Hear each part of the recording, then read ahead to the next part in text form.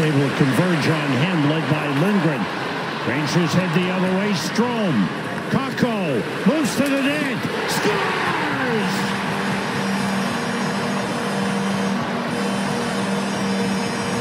Kaapo Kakko gives the Rangers a 3-2 lead.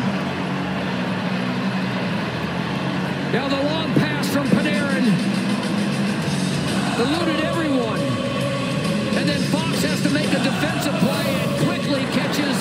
The Sabres in a change.